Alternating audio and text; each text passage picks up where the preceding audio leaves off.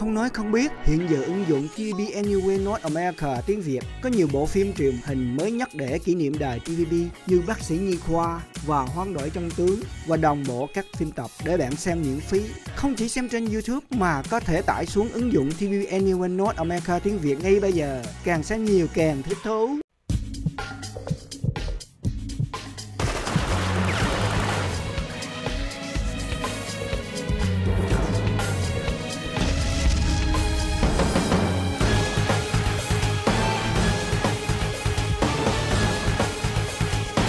Là đại ca mà tôi tôn kính.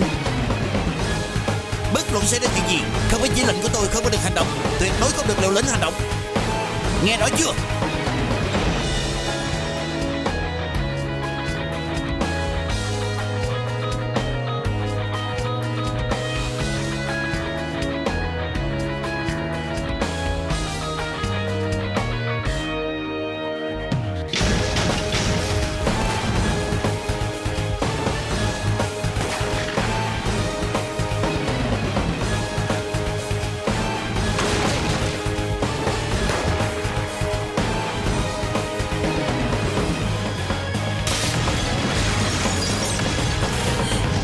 Những gì anh làm đều là vì bản thân của anh. Em còn bước tới anh sẽ bắn ngay.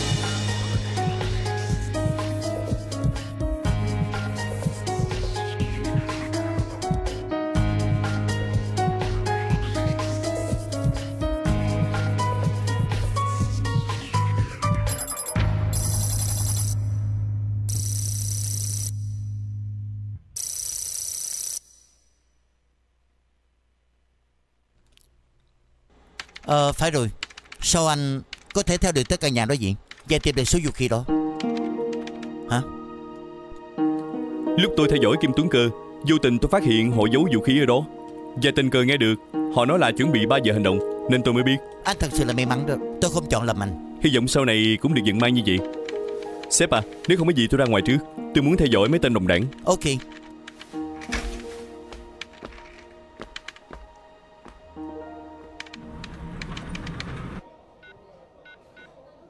Hi nói thiệt nha, mới vừa phát xong một vụ án lớn, khí thế như vậy có phải nên đi ăn mừng hay không? Đương nhiên rồi, làm được công lớn mà Chọn ngày tháng gì nữa Hay là tối nay luôn đi Được, đi thôi. Phó Hoàng Lương là đại sư huynh Dĩ nhiên đại sư huynh quyết định Hi biết nói chuyện có tiền đồ. Nhưng tối nay không phải do tôi quyết định, anh Thần quyết định đi. Không có ảnh làm sao lập công. Phải, anh Thần. Hey, Hả? hey, Chuyện gì sao vậy?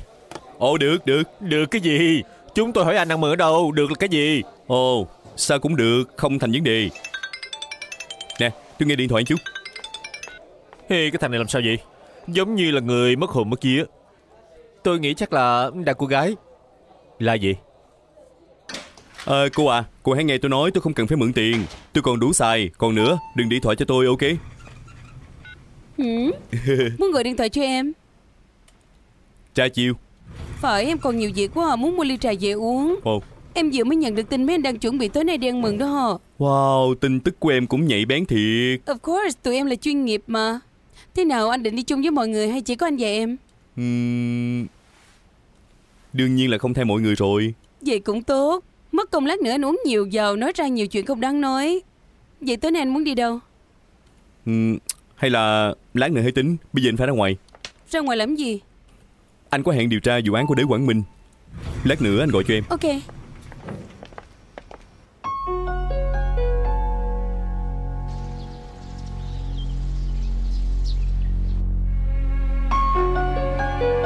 Cảnh sát triệt phá được tập đoàn ám sát.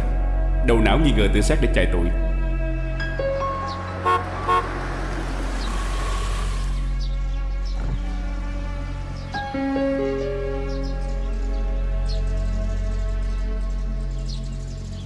Hôm nay cô đọc báo chắc đã biết xảy ra chuyện gì rồi chứ? Hôm nay tôi bận lắm không có đọc báo. Tôi đã gọi cô suốt cả ngày Sao cô không nghe điện thoại?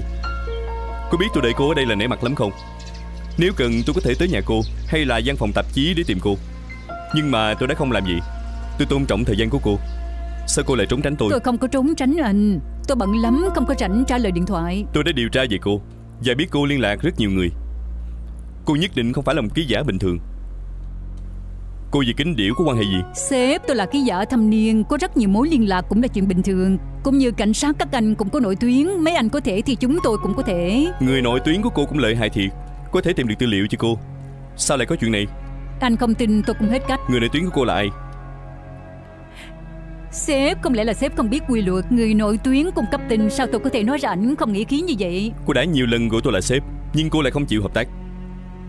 Ok Nếu cô có giữ thái độ này Tôi sẽ trở về mở hồ sơ riêng cho cô.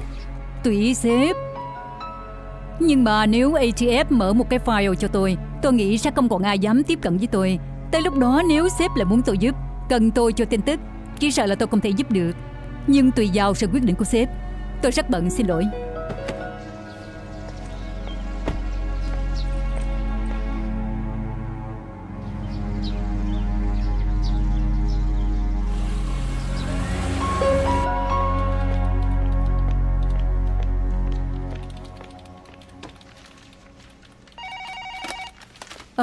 Ờ, Maria, ba đâu? Ồ, ổng với khách ra ngoài họp rồi còn chưa về Hả? Ờ, cảm ơn. Ừ.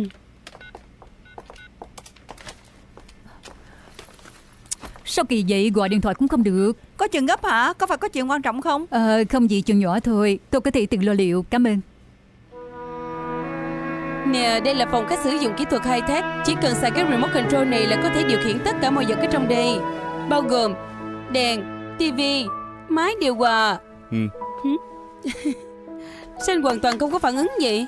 Bộ vụ án của anh phiền phức lắm hả? Không có manh mối. Không có manh mối à? Vậy tức là vừa rồi không có nghe em nói chuyện. Có. Sao anh lại không nghe em nói chuyện? Wow căn nhà mới của em kỹ thuật cao thiệt. Nếu như em không nói Chắc sau này anh không biết đi ra bằng cửa nào nữa Anh thì lại nói quá rồi. Chỉ cần nghĩ tới có thể dùng cái remote control Có thể điều khiển tất cả mọi thứ trong nhà Thì lợi hại quá rồi. Ừ. Đúng là con gái nhà giàu có khác Nếu không phải nhờ có ba em ủng hộ em Thì thu nhập của em đâu có tương xứng với chức vụ của em. Nè, Thank you. Sao rồi ba của em đã tới xem căn nhà này chưa? Còn chưa Ba chưa có rảnh. Ngày mốt, ba đã hứa là ngày mốt sẽ tới Nhưng mà không sao. Tụi em đã quen rồi Một tuần gặp một hai lần. Lúc bên Mỹ cũng vậy Wow Nói vậy Anh là người đầu tiên tới nhà của em. Anh biết vậy là tốt. Wow anh thiệt là vinh hạnh. Phải rồi sao hôm nay anh không có đi ăn mừng chung với mọi người? Ừm, Cũng đâu có gì đáng chúc mừng. Không có gì. Mấy anh vừa mới phá được một vụ án vũ khí. Cuộc họp WTO hoàn thành thuận lợi. Bộ trưởng Bộ Nông nghiệp của Hàn Quốc là an toàn vô sự. Còn nói là không đáng để chúc mừng sao? Nói cho cùng thì Tìm được số vũ khí đó là lấy công để bù lỗi. Chưa tìm ra được người giết đế Quang Minh Vụ án này chưa xong Ăn mừng có lẽ hơi sớm. Đợi khi nào tìm thêm tài liệu rồi hãy tính. Em thích nhất là thái độ làm việc hết mình của anh. Anh không những là làm việc hết mình Mà đối với em cũng rất thật tình. Ê, về rồi à? Papa, ba đã đi đâu? Gọi điện thoại suốt ngày ba không trả lời. Ba chạy xe ngang tay cống mua được mấy con tôm rất là tươi. Chút nữa nấu cho con ăn Ba kêu con đừng có lo chuyện của ép mình. Bây giờ rất nghiêm trọng ba hãy coi đoạn tin này. Ba biết rồi. Sao bà lại có thể bình tĩnh? Bây giờ đã xảy ra nhân mạng. Cũng may cái tình hội thôi đó cũng chết. Nếu không cảnh sát truy cứu chúng ta sẽ rất phiền phức. Sao bà lại coi như là không có chuyện gì xảy ra? Bây giờ là mua bán vũ khí. Không lẽ là ý cấp trên? Không phải là ý của tổ chức. Là do admin gian lận. Hắn tự ý mượn cơ hội này buôn bán vũ khí Lúc con nghi ngờ hắn cho ba điều tra hắn thì đã quá trễ. Hàng đã giao cho người ta. Ba không thể làm gì được. Nôn nóng thì có ích gì? Sao vậy? Bây giờ ép mình là nhân vật nguy hiểm. Bà phải báo lại với cấp trên. Bà báo cáo chưa? Chưa. Nè Nếu cấp trên cho là chúng ta cũng có phần thì sao? Ba không nói chỉ là không muốn cấp trên biết được đó. Ba không thể khống chế hắn. Hắn sắp giành luôn ghế của ba Cái gì Bây giờ bà không khống chế được hắn Lại không nói cho người ta biết. Vậy tức là ba không có làm gì. Chúng ta phải làm sao? Sau này thế nào? Sớm muộn hắn sẽ liên lụy tới mình. Rồi ba có thể làm gì? Cái gì mà có thể làm gì? Bây giờ cái gì ông cũng mặc kệ Cũng không làm. Thiệt là bị ông làm tức chết mà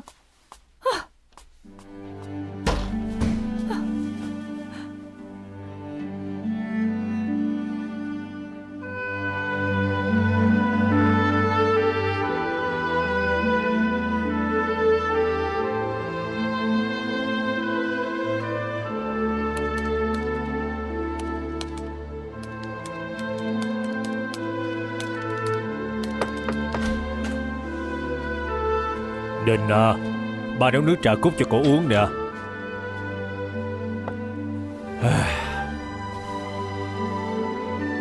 Thật ra ba không cần phải làm vậy.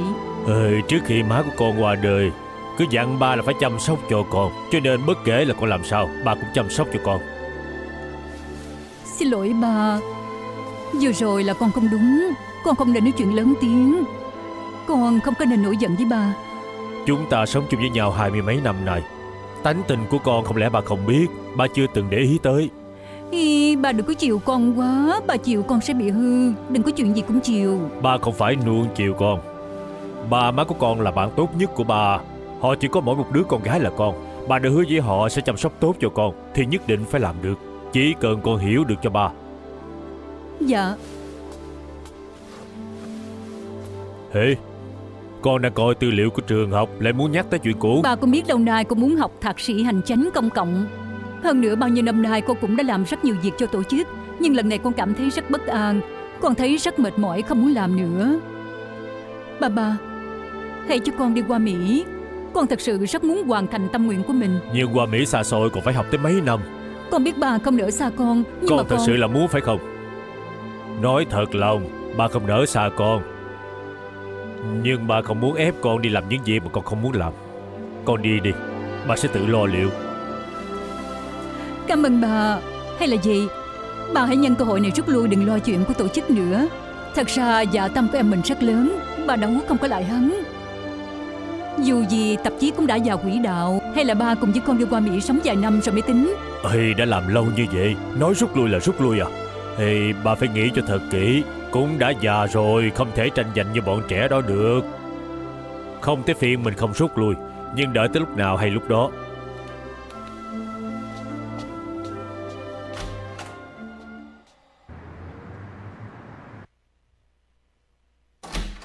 Anh hai! Anh hai Thức Ừ. dậy thức dậy. Mấy giờ rồi. Sắp tới 7 giờ rồi. Mới có 7 giờ phải không? Hả? Đừng có làm phiền anh nữa. Hôm qua anh theo dõi tên khốn kiếp đó tới 3 giờ khuya mới được về ngủ. Mới chớp mắt thôi. Anh nói dối hôm qua anh nghĩ mờ Anh theo dõi anh nói đi. Ê, Anh kêu em bằng đại ca đó. Làm ơn cho anh ngủ thêm chút nữa đi. Không phải. Nè Anh hai Ngồi Chuyện dậy gì chứ? Vừa rồi em nhận được tin Có liên quan tới vụ án giết người của đới Quảng Minh. Đới Quảng Minh. Sếp Ngầu Đoạn phim này do camera của tiệm tạp hóa bên kia đường Quay vào tình trạng đêm hôm đó. Trong đoạn phim nhìn thấy một người chuyển phát nhanh mang theo một cái túi Đi vào tòa nhà 151 kế bên Căn cứ theo trang phục của người chuyển phát nhanh Tôi phát hiện được hắn thuộc về công ty chuyển phát nhanh BTD Căn cứ theo tư liệu mà họ đưa cho chúng ta Thì hàng tuần vào ngày thứ ba năm bảy Họ đều chuyển phát qua khu vực đó. Nhưng vào đêm xảy ra vụ án là vào thứ sáu Có nghĩa là không phải là người của công ty chuyển phát nhanh BTD Đến tòa nhà để giao hàng. Cho nên người chuyển phát nhanh này rất khả nghi. Không sai. Đó không phải là nhiệm vụ của anh. Anh cũng hàng thiệt. Nhưng mà tôi rất coi trọng anh. Thank you sir. Làm công tác tình báo như chúng ta Bất kỳ một chút manh mối nào cũng không thể bỏ qua. Cho dù chỉ cần một chút manh mối thôi Đó cũng là mấu chốt quan trọng để mà phá án.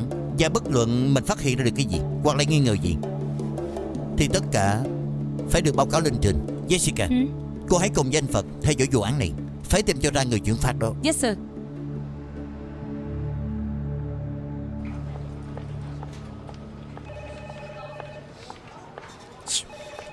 Tôi có việc phải ra ngoài chút. Ra ngoài làm gì?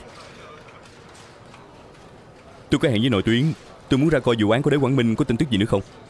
Tôi nói cho anh biết Bây giờ anh không phải là CID Mà là ATF ATF theo dõi người là có trình tự. Theo trình tự chứ gì tôi biết. Hey Cẩn thận đó. Biết rồi chú hai. Thế nào tiền thánh Cái cô bạn gái vừa xinh đẹp vừa bản lãnh Lại giàu có đâu rồi? Nhìn bộ dạng thỏa mãn của ảnh Thì cũng đủ biết là rất công hiệu rồi. Cổ nhận được cái dĩa do anh chế ra Đã cảm động đến chảy nước mắt có đúng hay không DVD đó cũng không có nhận được Nhưng mà tiền cảnh thì thật là sáng lạng. Wow wow wow Chúc mừng chúc mừng Hey, nhưng mà nói thiệt nha Hôm nào hẹn ra đây Nếu không biết mặt Bữa nào trên đường chọc ghẹo thì không có tốt đâu. Sẽ có cơ hội Sẽ có cơ hội.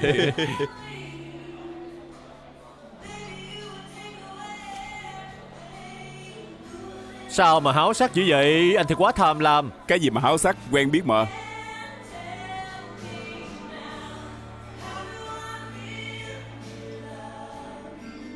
Anh hai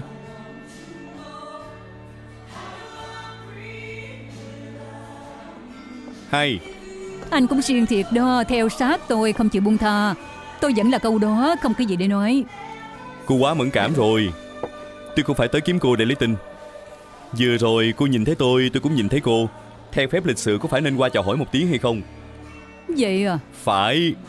Lần trước cô đã giúp tôi Tôi cũng nên mời cô uống một ly mà Tức là anh không nghĩ sẽ mở một file cho tôi. Nghĩ qua rồi. Tôi nghĩ là chúng ta nên làm bạn bè. Anh cũng thấy làm bạn sẽ tốt hơn hả? Ừ. Nếu đã là bạn bè Như vậy chúng ta có nên Giúp đỡ lẫn nhau không? Nè người bạn cảm ơn.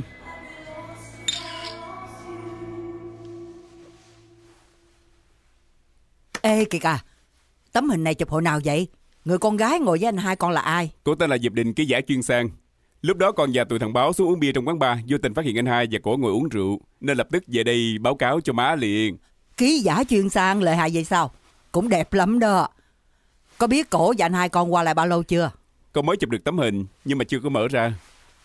Anh hai con đã có chỗ rồi Còn con thì sao Cái gì? Đừng có ăn chơi liều lỏng nữa Phải nhanh lên đuổi theo cho kịp Con báo tin cho má nghe. Tại sao má lại vô duyên vô cớ nói chuyện của con? Hey, Cái gì gọi là vô duyên vô cớ Lúc nào má cũng hối thúc con Ờ, Con ờ, đừng là- có nói nhiều. Thật ra con có nhiều việc phải làm. Má từ từ coi con dâu của má có đẹp hay không. À, nhìn gần một chút ha, đẹp hơn. Cũng không chịu chụp thêm vài tấm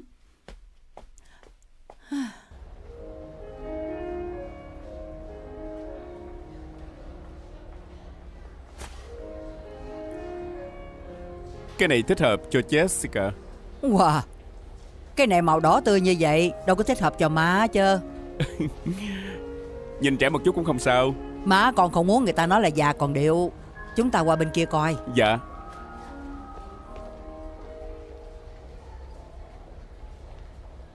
Không phải có duyên phận như vậy chứ. Nè kìa kìa Anh hai của con.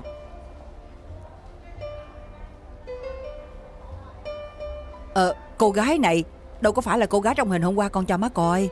À má chúng ta đi đừng có cản trở anh hai. Chúng ta qua bên kia. Làm gì phải đi? Chính à. Ủa má? Anh hai. Hai. Hello. Wow thì trùng hợp. À phải. Sao trùng hợp vậy? À, à, Kiệt à, đi cùng với má ra đây mua đồ. Thiệt là trùng hợp lại gặp được hai đứa ở đây.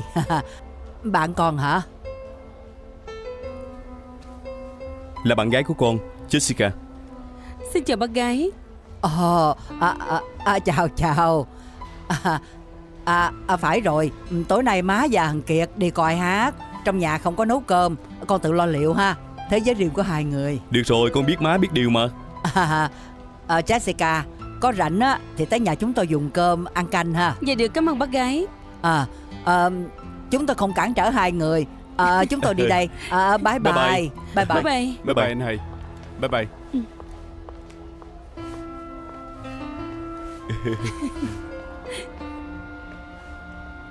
À kìa kìa. Ê, Thật ra cô gái trong hình là bạn gái của nó hay là cô này mới là bạn gái của nó vậy? Có khi nào nó bắt cá hai tay không hả? Con đâu có biết. Nếu như má muốn biết Tối nay về má hỏi cho rõ. Anh hai Về rồi à. Ủa má khuya rồi sao má chưa ngủ còn ngồi đằng áo? Má nói nếu không thẩm vấn anh Thì má không thể ngủ Con nhiều chuyện quá đi. À chính à, má muốn nói với con. Chuyện tình cảm á không thể tùy tiện được. Con tuyệt đối không được bắt cá hai tay. Rất dễ xảy ra chuyện đó. Má nói đúng Con ủng hộ má Má hỏi con, con biết con đang làm gì không? Con không Không biết má đang nói cái gì nữa Đúng là có làm bộ làm tệt. Người nào mới là người con yêu thật? Là người trong quán ba đêm qua hay là người trong tiệm bán bách hóa sáng nay? Người trong quán ba đêm qua Wow, sao má biết nhiều quá vậy Đêm hôm qua, con Biền Kiệt bác gặp. Còn chụp được hình nữa đó. Wow, lợi hại thiệt Em vô đội chó săn khi nào sẽ không báo cho anh biết Má, vậy má thích người nào? Người số 1 là trong quán bar Người thứ hai là trong tiệm bách hóa Má thích người nào? Má hỏi con, con lại hỏi ngược má. Con đương nhiên phải hỏi má Dù người số 1 hay là người số 2 Phải qua kính nhãn quan của má mới được Sau đây Cô số 1 hay là cô số 2? Anh hai Thực ra không có nên tùy tiện vậy Cũng là đồng nghiệp Nếu như xảy ra chuyện gì Sau này gặp ở công ty Không nhìn nhau thì không tốt Thằng Kiệt nói đúng. Bây giờ con xin được chân thành thề trước ánh đèn Số 2 mới là bạn gái của con Sao hả, dự ý chưa? Còn số 1 thì sao? Là quan hệ bạn bè trong công việc Ồ, thì ra là vậy. Chính là như vậy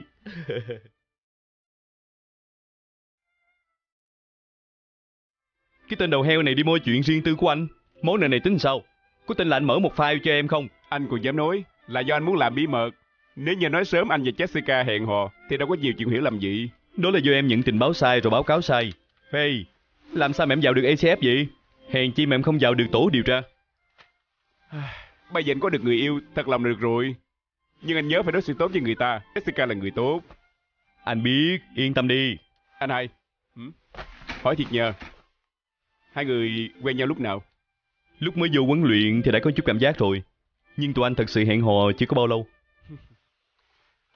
Hai người thật sự quá bí mật. Jessica thích giữ kín mà. Sợ người của ATF biết được chuyện của chúng tôi như vậy sẽ không được tiện. Lần này bị bắt quả tang. Đúng là ý trời. nè, vụ của anh đã bị tòa án gia đình xử xong rồi. Bây giờ tới phiên em. Sao lại tới phiên em? Bạn gái của em đâu? Chia tay từ lâu rồi. Sao mà em tệ quá vậy? Thế nào, em bị người ta bỏ hay là bỏ người ta? Ai bỏ ai đâu có quan hệ gì. Có cần hai giải cho em về chiêu không? Không cần, không cần. Em bây giờ không nghĩ tới chuyện tình cảm, tập trung vào công việc, ok? Được, anh hai ủng hộ em. Được rồi, không làm phiền em nữa, ngủ ngon. Ngủ ngon.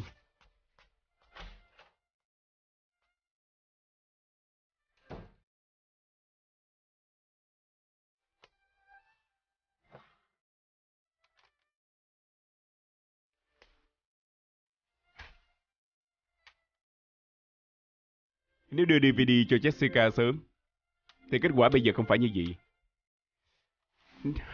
Nếu không phải Subway điều tôi qua bên tổ hành động thì tương độ đâu có như vậy. Tất cả cũng tại Subway. Cảm ơn anh nha Stephen. Tư liệu của anh rất là hữu dụng, đã giúp cho bài viết của tôi và sự phát triển của quán bar Hồng Kông rất nhiều. Được rồi, mình quen nhau vậy, giúp qua giúp lại, đương nhiên không thành vấn đề. Nhưng mà tìm được người có thâm niên như anh thì không dễ. Ê, lúc đầu người ta đến quán bar, cũng là vì muốn uống rượu ngon mà vào uống. Còn bây giờ chưa chắc đâu. Nhiều lúc họ đến đây, hoàn toàn là có ý khác. Tôi hiểu, bây giờ làm ăn rất là khó khăn.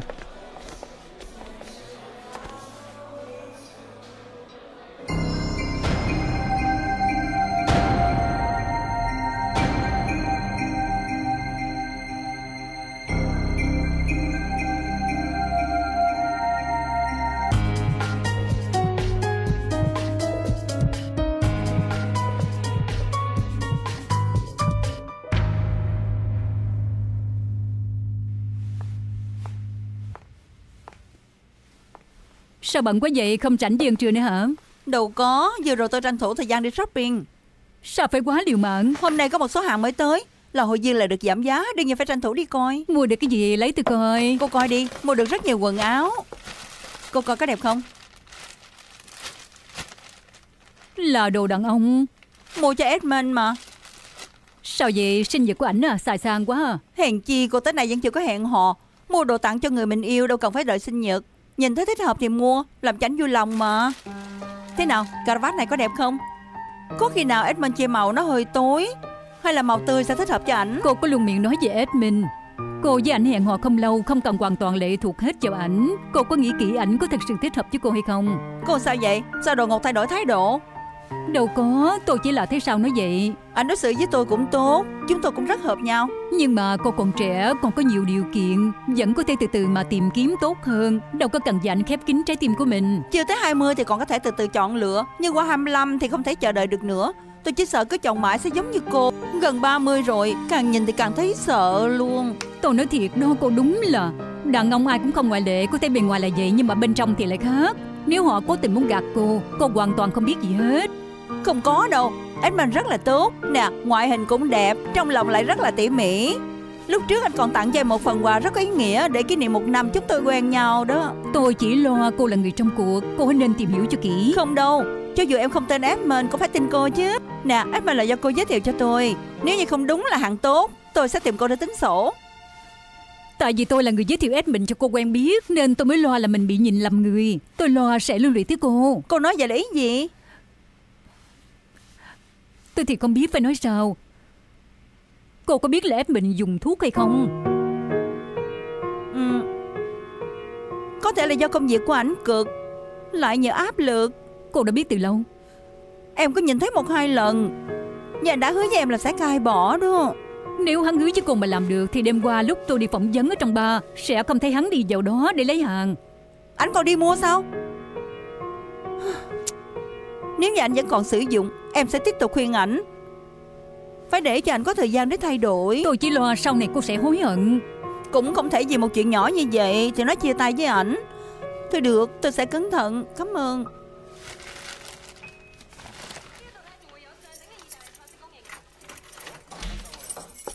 Về rồi Papa Mau qua đây. Ba đem một số hạng mục về cho con coi. Con coi thích đi chơi ở đâu Địa Trung Hải hay là Alaska? Biển bên Polo cũng rất đẹp. Papa bà muốn nghỉ phép. Wow Bao nhiêu năm nay mỗi lần được nghỉ Bà cũng chọn ở trong tòa soạn tạp chí Hình như bà hoàn toàn không có nghỉ phép. Bà muốn đi du lịch chứ con còn muốn đi du thuyền nữa. Con đã sắp đi qua Mỹ. Tới lúc đó chúng ta sẽ không có được ở gần bên nhau Cho nên bà muốn nhân cơ hội này Cùng con đi du lịch chơi. Giữ lại kỷ niệm tốt đẹp. Con nói cũng đúng. Bà đã già rồi Không thể như lúc trai trẻ được Làm việc suốt ngày đêm nữa. Thôi thì nghỉ phép năm 10 ngày. Đi chơi với con Sẵn dịp thư giãn tinh thần. Con không thích mấy chỗ này à. Hay là ngày mai ba lấy thêm một số? Dạ không cần. Chỉ cần có thể đi du lịch với bà Đi tới đâu con cũng vui. Vậy con hãy từ từ chọn. Ừ. Ý bà không khỏe hả? Là thuốc tim đó. Sao vậy? Tim của bà có vấn đề. Đừng có quá khẩn trương. Không có gì đâu Mấy ngày trước đi khám tổng quát Thấy trong tim của mạch máu hơi bị hẹp một chút. Cho nên bác sĩ lo mới lấy thuốc này cho bà uống. Ông nói chỉ cần ăn thanh đạm một chút Định kỳ kiểm tra sẽ không có việc gì. Bà không thể nói gì được Bệnh tim có thể lớn có thể nhỏ. Sao bà không nói sớm cho con biết? Thôi được rồi. Sau này chuyện gì Bà cũng sẽ báo cho con biết trước tiên. Bà nói được phải làm được. Bà nhất định giữ lời. Nếu như bà gạt con Thì nhổ hết mấy cái răng vàng của bà. Bà tưởng con không biết hả? Bà đâu có răng vàng Bà nghe đây đình Bà hả? Bà tới chưa? Vừa mới tới đậu xe xong. sao cũng chưa nghĩ ra ăn cái gì Con sẽ xuống gặp bà dưới đó. Được chút nữa gặp. Ừ.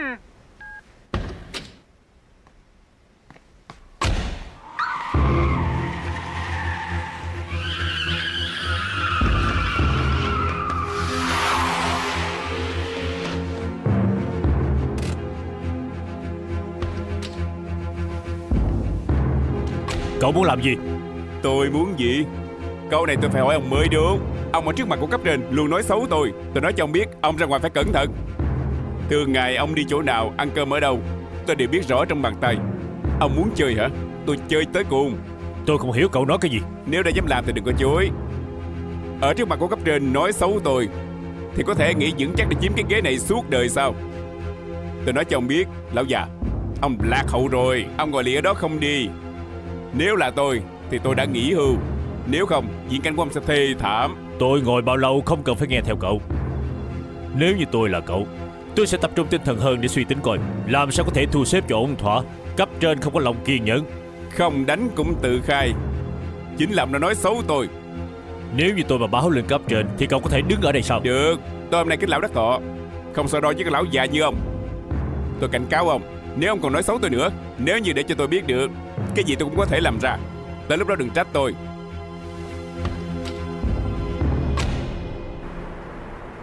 Tôi biết anh thích nhất là tiếp nhận khiêu chiến, Lần này là độ khó tới cấp 8 Có thể dùng cách nào? Không để cho ai có thể biết được mà xóa hết tất cả số tài liệu chứa trong máy tính của đối phương, Bao gồm cả những số liệu đã cất giấu. Sau đó, dù đối phương có làm cách nào cũng không thể cứu vãn Đúng là hơi khó đó. Nhưng mà không thể làm khó tôi đâu. Hey.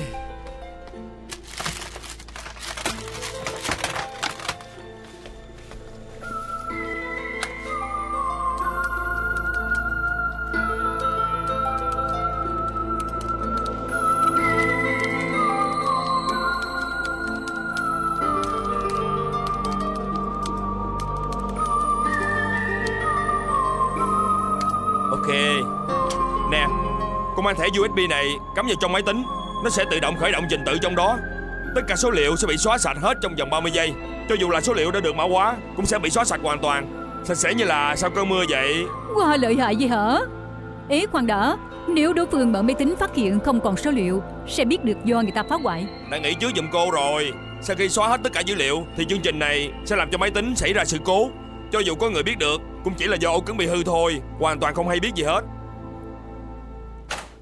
Sao hôm nay tốt vậy cùng tôi đi mua đồ cho Edmund Còn giúp tôi mang về đây nữa Hôm nay tôi đang rảnh cho nên qua đây giúp cô để làm tài xế. Cô ngồi xuống nghỉ đi Tôi đi pha trà trái cây cho cô uống Tốt vậy sao?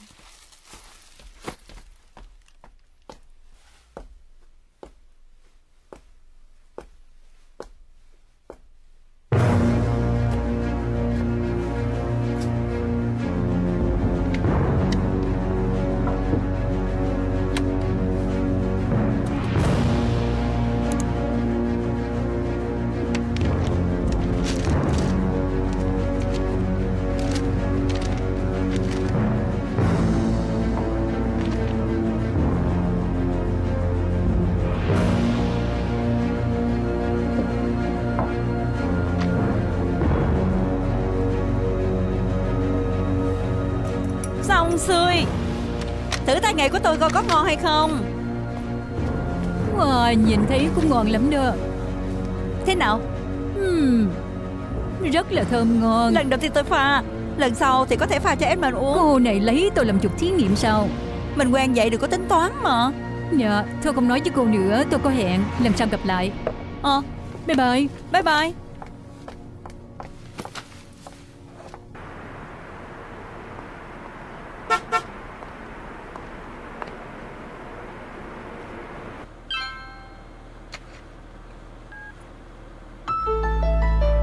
trả lời Định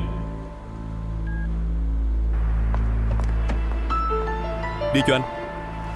Cảm ơn anh. Không gì. Sao hả? Tối nay định đi ăn cơm ở đâu?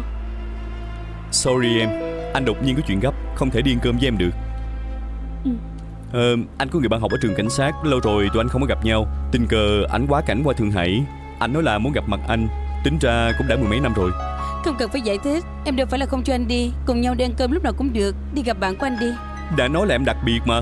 Lúc nào cũng vậy Em là người luôn tốt với anh nhất. Anh không cần phải nịnh em đâu. Em không cần những thứ này. Anh phải đi gấp Đi em tới trạm taxi là được rồi. Thank you.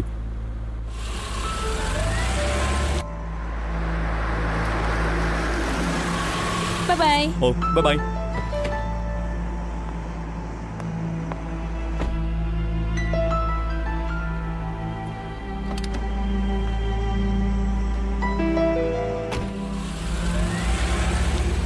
tài xế à? Làm phiền anh giúp tôi chạy theo chiếc xe phía trước. Bắt ghen hả? Hay là tìm thêm vài em nữa? Đối phó với đàn ông thúi như mấy anh Chỉ cần một cây kéo là đủ rồi. Cô hai có chuyện gì từ từ nói. Tôi chỉ nói chơi Ham vui mà thôi. Theo kịp hay không không thành vấn đề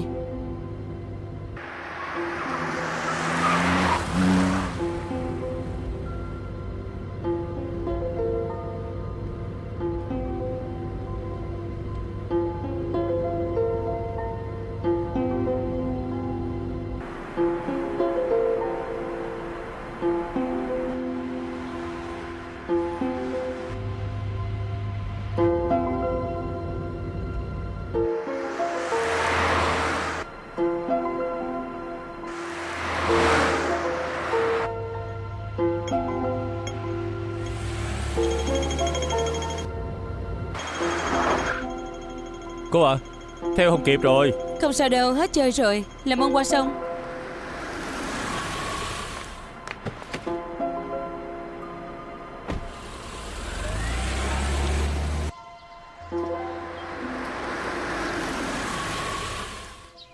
Tôi còn tưởng lần này cho dù không tới quán bar để uống vài ly Thì cũng phải tới một quán ăn nào đó Vừa ăn uống vừa trò chuyện thư thả một chút chứ. Đúng không?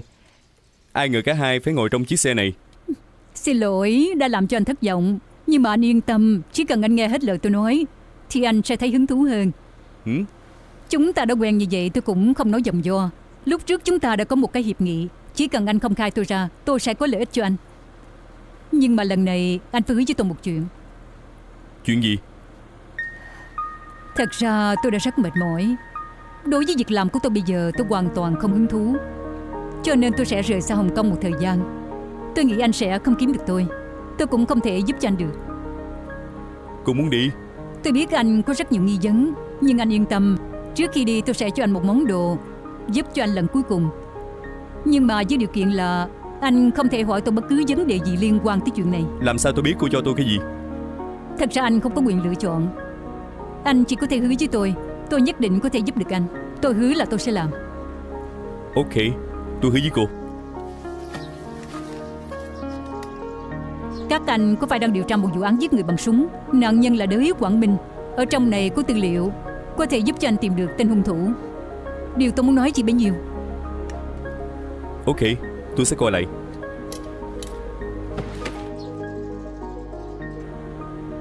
Hãy nhớ những gì anh hứa với tôi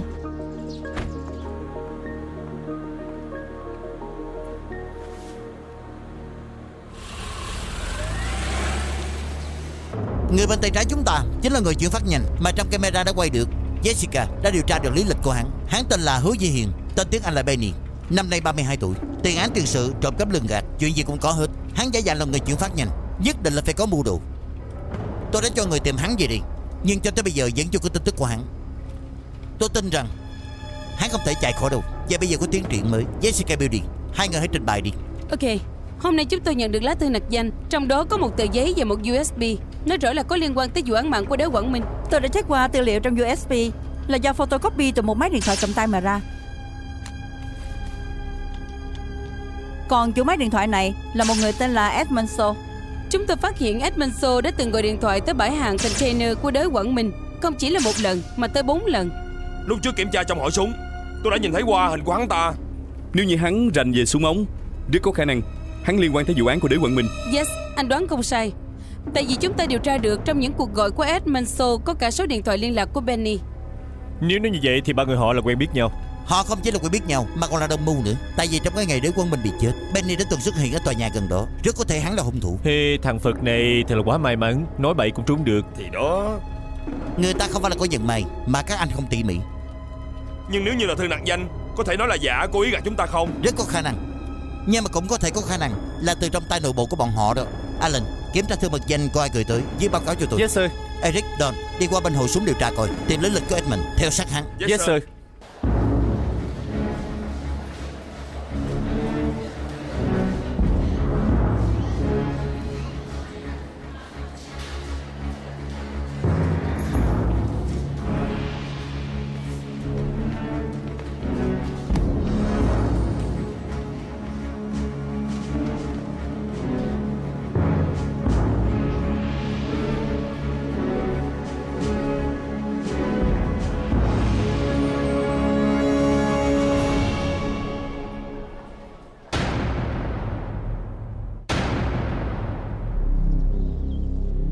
Cái lão già mắc dịch. Cái nợ lần trước chưa tính với ông. Bây giờ là báo tin cảnh sát để theo dõi tôi. Có phải ông không muốn sống nữa? Cậu nói bậy bạ cái gì? Nếu không phải ông bắn tin cho cảnh sát Tại sao họ theo dõi tôi? Cảnh sát theo dõi cậu không nhất định có người bắn tin. Có thể cậu làm việc không gọn gàng để làm manh mối cho người ta điều tra. Ông hù tôi. Giết đới Quảng Minh ông cũng có phần. Tôi xảy ra chuyện ông cũng không có được yên. Tôi nhất định bắt ông chết chung. Mày muốn uy hiếp tao à? Mày tự lo cho thân mày đi Tao không muốn một con sâu Mà làm sâu nồi canh. Cái gì mà con sâu? Cái gì mà nồi canh? Tất cả những chuyện xấu đều do tôi làm. Còn ông ở trước mặt của con gái ông giả làm người tốt Làm một người ba tốt. Trên đời này không có chuyện dễ dàng vậy. Mày nói cái gì cũng vô dụng. Mày đừng có quên Mày có ngày hôm nay. Điều là do một tay tao nâng đỡ lên. Tao đã có thể đưa mày lên Thì cũng có thể đẩy mày xuống. Trong đó hình như họ gây nhau rất dữ dội Nhưng lại không nghe được họ đang nói cái gì. Tại sao vậy? Đương nhiên là nghe không được rồi. Phòng của ông Tổng Kiều có gắn thiết bị cách âm Lại có tới hai lớp kính. Bình thường cũng vậy mà anh không cảm thấy sao hả? Ồ hèn gì? Nè mấy người nói coi có khi nào về chuyện đăng quảng cáo vừa rồi không? Tại vì Edmund muốn chúng ta rút lại mấy trang quảng cáo khác Trừ lại cho anh ta một chỗ. Anh nói Kiều Tổng chấp nhận rồi Nhưng mà Kiều Tổng lại nói không có Tiếp đến anh lại nói phải thu tiền Mà còn gây nhau nữa. Xem ra Edmund đã ép Kiều Tổng quá rồi. Nè nhưng cho dù anh đúng Cũng đâu cần hung dữ như vậy. Nói cũng phải ho Thường ngày anh đâu có như vậy. Ừ.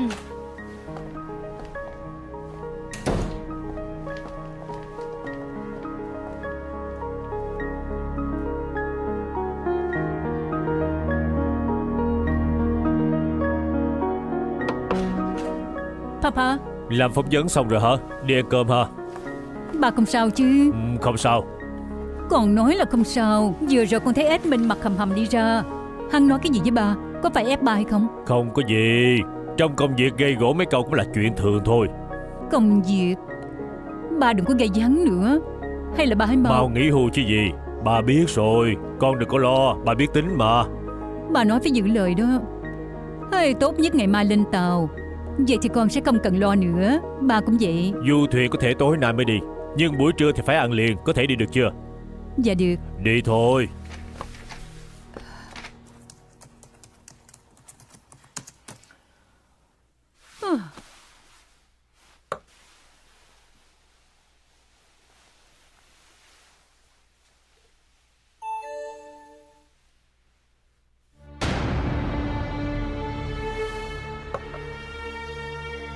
Tiến sĩ sinh dược chết ở trong phòng thí nghiệm.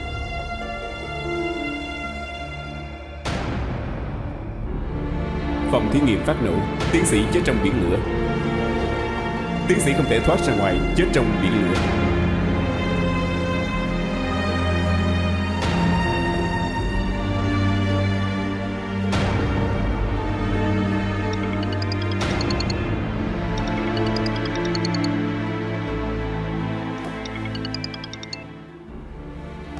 Alo Nhận được mấy cái email tôi gửi không?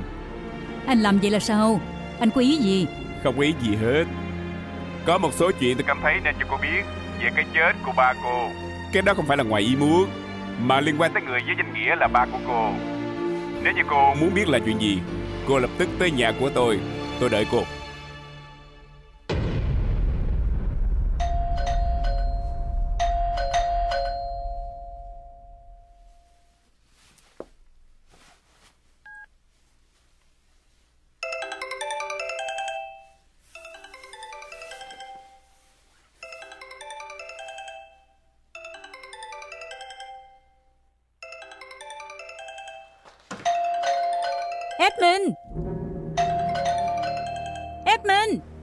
Làm ơn. Xin hỏi bạn của tôi ông Tô trên lầu 12A Ông có nhìn thấy ảnh ra vào hay không?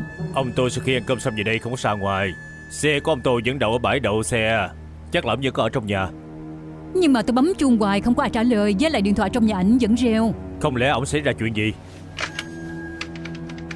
Alo? Alo Mận hả? Cô đang ở đâu? Đang làm việc ở trong công ty. Ép mình kêu tôi qua nhà quản lý rượu Nhưng mà tôi bấm chuông hoài không có ai trả lời. Sao lại như vậy? Em lập tức qua đó. Ờ được Điện thoại trong nhà không có ai nghe Có cần báo cảnh sát không? Hả? Cảnh sát Đã xảy ra chuyện gì? Ép mình gọi cho tôi đó là đã có rượu đỏ. Tôi gác máy xong lập tức qua đây. Bấm chuông nhưng không có ai trả lời Cho nên tôi xuống dưới tìm người quản lý. Sau đó mới anh tới. Dana Edmund sao vậy? Hòa vừa mới phá được cửa. Ờ. Có rồi Đã phát hiện nạn nhân Edmund